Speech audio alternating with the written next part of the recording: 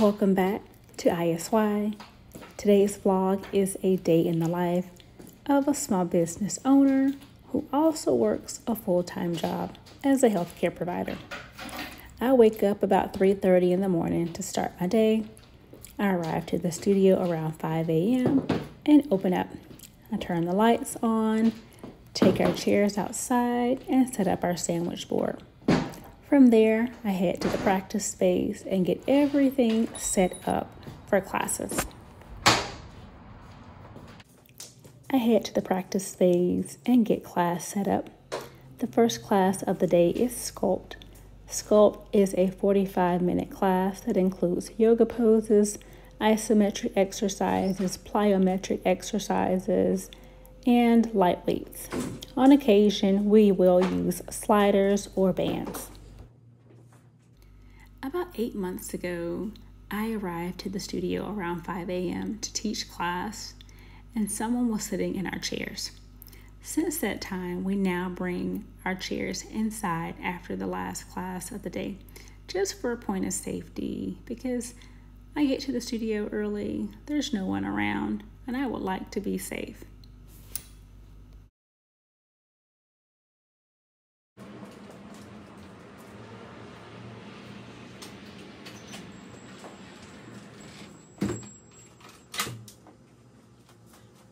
I usually turn on our live stream experience after I set up for class, but on this day, I forgot to do so. Therefore, I headed to the back to get our live stream set up and welcome our online students. I start my day with movement, meditation, and devotion. I did not get a chance to meditate before I made it to class, so I made it a point to get in a few minutes before class started. Class is over and it is time to clean the props.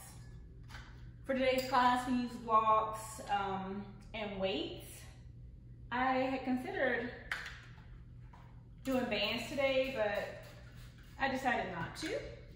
We did have one of our students um, pop in for class. They didn't register. Most people pre-register, um, and they said, um, what did they say? I'm trying to remember. They woke up at like three o'clock and couldn't go back to sleep and said, oh, I'll go to class, but then missed like the registration cutoff period. But I was glad to have them. And I think I showed y'all, I set up the online, our live stream experience.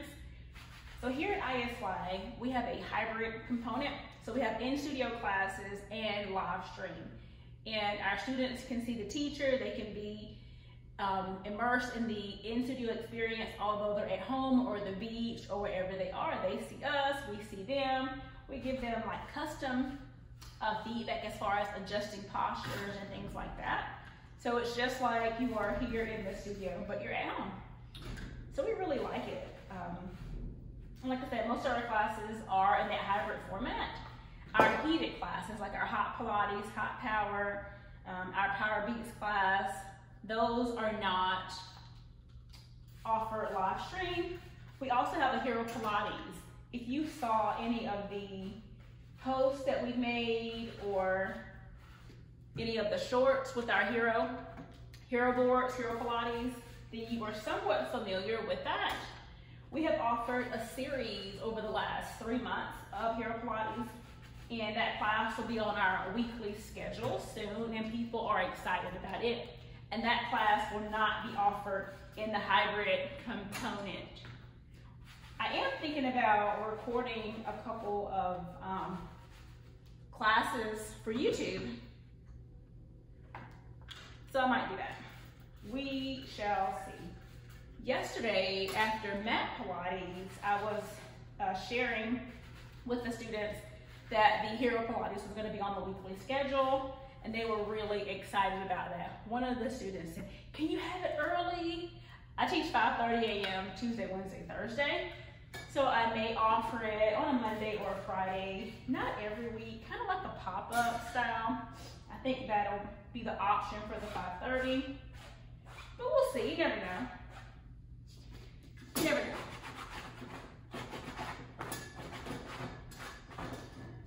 We shall see. Um, but I'm excited about the offerings that we have here at the studio.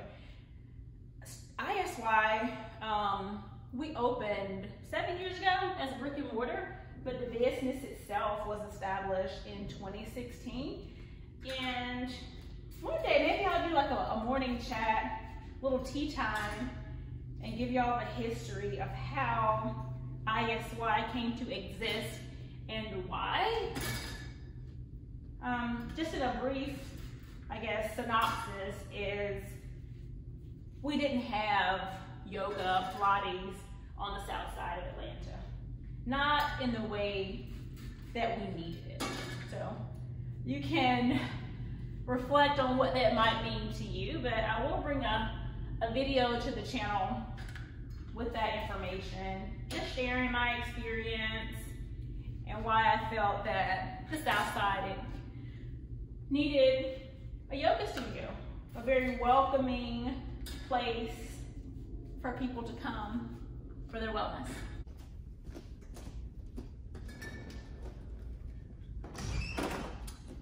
This is real life as a yoga teacher, a small business owner. A lot of things that I do in the business that other businesses hire out as far as like cleaning props and things like that. For me, at my time slot, I don't need any help. I can check people in, I can teach class, I can clean up. I'm pretty quick at it. I've been doing it for a long time. And last year, we had some front desk staff and on my Thursday night class, I always just felt so guilty. Like, oh my gosh, you're cleaning up after my class. And it's because I've been doing it so long. And although it's their job, they're being compensated for it. I always like help out. You know, when I come to take class, after class, I help clean up. It's just ingrained in me because I want the studio experience to be like top tier, 10 out of 10 for the space to look good, to smell good, for students to feel welcome, to just have a really good experience from the time they walk in until the time that they leave. And they can take a piece of ISY with them. So I love it here and I'm just grateful to be able to share the practice of yoga, to share Pilates, and just overall wellness with people.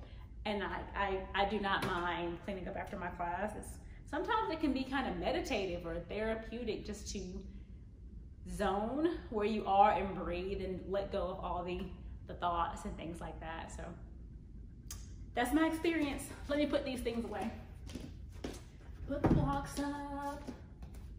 Something else I'll share with you all. At my studio, we always offer props. Every class is set up with blocks. At the very minimum, blocks. People may not use them, but they are available. I think blocks are props that everybody needs. Whether you are coming to yoga as a new practitioner day one from the physical standpoint, or you have been on the mat for 25 years, blocks can always come in to a place of being helpful. Yeah, I love blocks. These mini mats, I love these mini mats. These are from Jade. If you saw the unboxing of the yoga mat towel that I did, I uploaded yesterday, a couple days ago.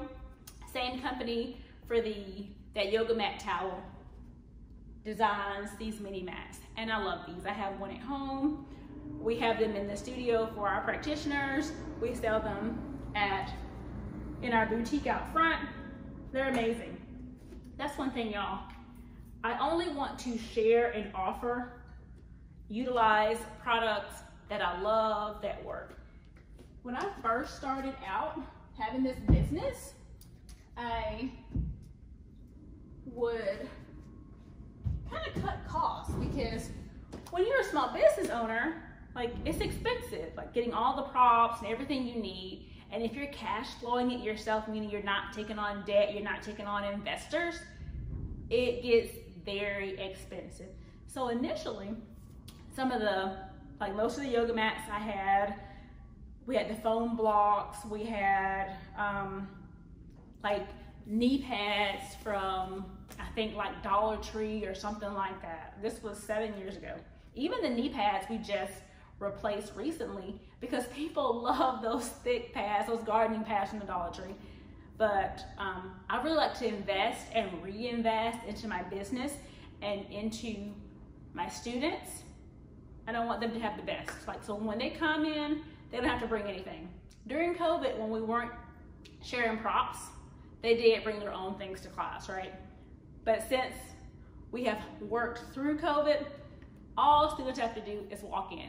We don't have a mat rental fee. We don't have a prop mental rental free fee as far as our Pilates balls, our, our magic circles, our weights. You just show up and have an amazing class, an amazing experience without there being anything extra. So I don't know. I do know. I love it here. I love what I do. This is not a job for me. It's it's my passion. I do have a job. I'm a healthcare provider, which I think I told y'all earlier. You might get to see me in the environment somewhat, a little bit as I see some patients today. Um, but I've been a healthcare provider for 15 years now. I enjoy it. I love that as well. But here at the studio, when I'm sharing, it encompasses all the things that I love. I am a former professor. I worked in higher ed at a university for five years and I love education. I love teaching and sharing. If you if you ever learn that about me, I love it. I love it. I love it. So when I'm here, I'm able to bring together all of my passions like wellness, healthcare from a preventative standpoint, teaching, education, empowerment, like that transformative experience from the inside out. I just love it here and I am grateful, grateful, grateful that I get to share this practice with so many people and I've met tons of people over the course of time, and I thank God for it. Working in my ministry, working in my passion. We clean up the practice space between each class. We give a 30 minute break between classes to ensure the space is sanitized and all the props are cleaned and put away.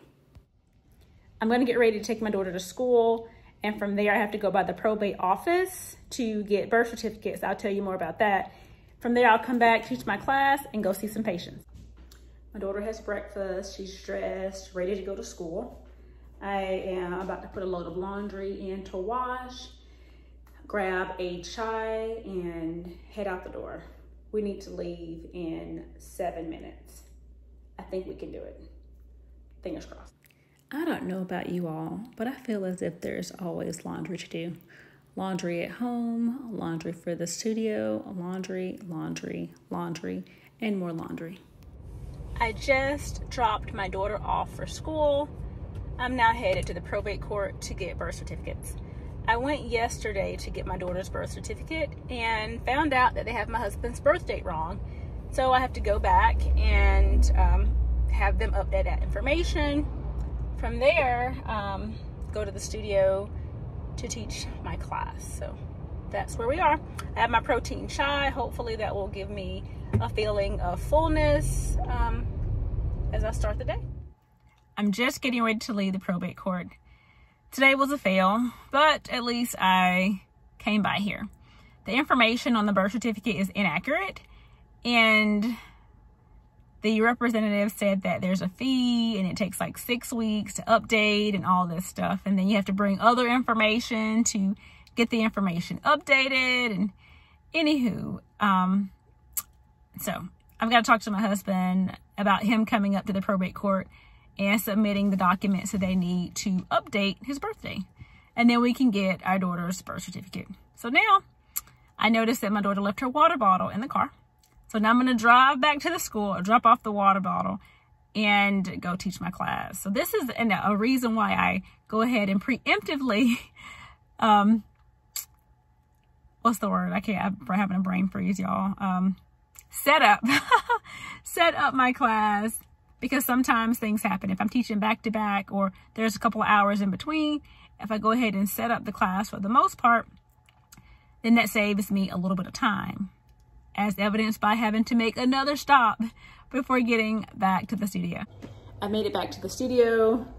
I took my daughter her water bottle, ran by the house to put the laundry in the dryer. I am here, settled, ready for class. Class will start in about 15 minutes. One of our students just pulled up, so I think they'll probably be walking in soon. Also, Um, we received a call on our studio phone about someone registering for class and it was such a challenge like hearing them and they had sent a text because the screen is cracked and the phone is so old. I cannot wait until the new phone arrives and all these issues will be resolved. So class will start, like I said, in about 15 minutes and I'm looking forward to seeing everyone. In our last vlog, day in the life, small biz yoga teacher, I think y'all saw that I went to the store and I bought a drying rack. I did not get a chance to put it together. Our manager did, and he did a great job.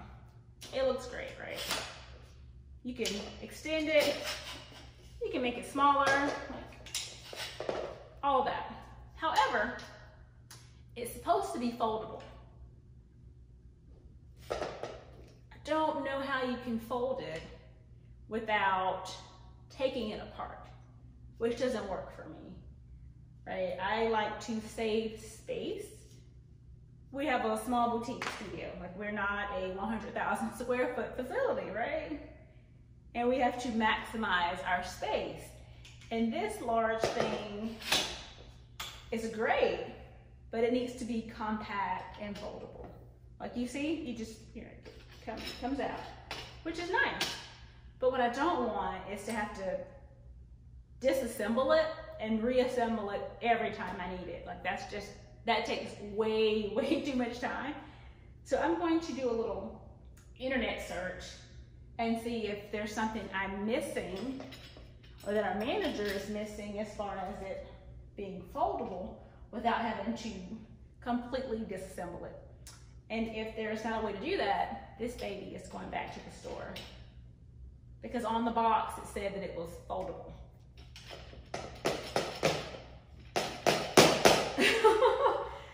I don't see how it's foldable.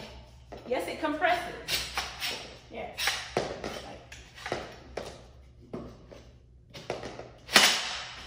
Okay, we made it smaller. Let's see. That's not happening. I don't know, but I'm gonna do a little internet search, see, see if I can find anything, and if not, I will return it. Maybe that spot was on sale, and we were gonna save 11 or 12 bucks, but doesn't matter if you save money if it doesn't do what you need it to do. And from the standpoint of being able to hang stuff on here, great but it needs to be foldable. So I would rather pay the extra 10 bucks or 15 for a rack that folds up. So with that being said, internet search or a return, one of them two, or maybe both, internet search and a return. We'll see. Let's see if we can find out about this foldable um, laundry rack.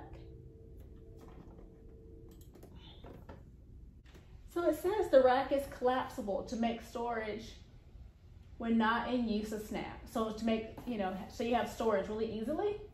Simple to transport from laundry room to bedroom, other rooms, and back easily. Hmm.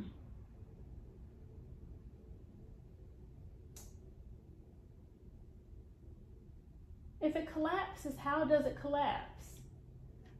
Okay, instruction sheet. Let's click on that and see what it says. Can you make it bigger? How do you, is there a zoom?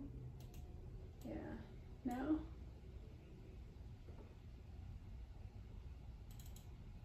Okay. When not in use, pull out to fold flat as below when not in use.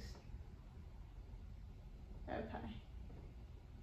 So it looks like the very top, you pull it out and then it compresses. That's what it looks like. Let's see.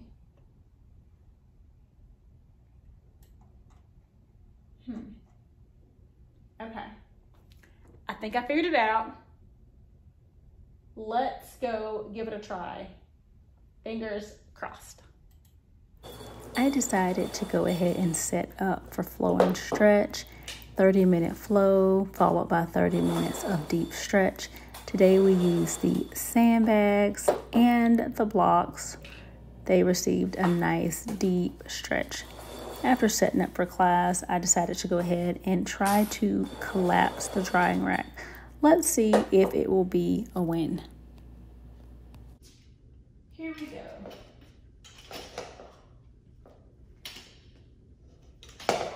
Oh my gosh! It worked! oh my gosh, I'm so happy saved money, it collapses, it shrinks in, it works. I am happy. I will not be returning this to Walmart. I am going to keep this. This is exactly what I wanted. It's what I needed. And you see what happens when you don't give up. You do a little bit of research. It all worked out. I'm so excited. I am home. Class went great. I left, came home, took a fast shower dressed for work. I'm gonna throw the rest of the laundry in and go see my patients. I just wrapped up seeing my first patient. They're good to go. It was a good appointment. I'm getting ready to go see my next patient. However, I left my stethoscope at another patient's house yesterday, so I'm gonna swing by and try to pick that up on the way to my next patient. Let's see if I can get my stethoscope and make it to my next patient in about 35 minutes. I think it's doable. Let's give it a go. I was behind this tractor trailer for several minutes. I thought I was gonna be late. Made it to my next patient and I picked up my stethoscope and I'm early. I have about seven minutes before I see my next patient. Um, so I'm gonna do a little bit of charting for my prior patient. Then we're gonna wrap it up. I just finished my patient. I was there longer than I expected to. But now I am done. Um, gonna prepare for all the things this afternoon. My child gets out of school. I've returned to the studio and we have a little package from our neighbor. I just got back to the studio. I have literally driven around America today. Oh my gosh. I have two classes to teach and I am once again tired you watched the last vlog, like today is a repeat of Tuesday, except I actually have patients to see today. Oh my gosh, or I had patients to see. I did not clean up after my morning class because I had to get home and shower and go see my patient. So now I have a few little, few minutes, like class starts in like 40 minutes. So I'm gonna clean up as fast as I can, set up, and teach a good class. My hope is that it's a good class. Oh my gosh, I'm tired. This is not sustainable. Like this level of going all day is not sustainable. Usually I don't teach but one or two classes, usually one class a week. Four classes, waking up at 3.30, um, working on my business or um, seeing patients and family is really hard. Like, I'm gonna do a, a video on just the level of commitment that's required in entrepreneurship, particularly um, the challenges and the wins that come with a brick and mortar business. It's a lot. Anywho, let me clean up and set up before my students arrive. I Swiffered now I have to wipe all of these items down. I can do it. I can do it. The last class of the day has concluded. I'm going to get ready to clean up and head home to shower, grab a bite to eat, and call it a night. Oh my gosh. I'm not as tired as I was a couple nights ago, but I am looking forward to my team coming back and resuming their classes. It is a challenge to um, teach classes, work a full time job, manage a business, run a business, um, and of course, be present with family. So I think my family might be awake when I get there. So shower, dinner, call it a night. Thank y'all for watching. Please be sure to like, subscribe, and share the channel with a friend.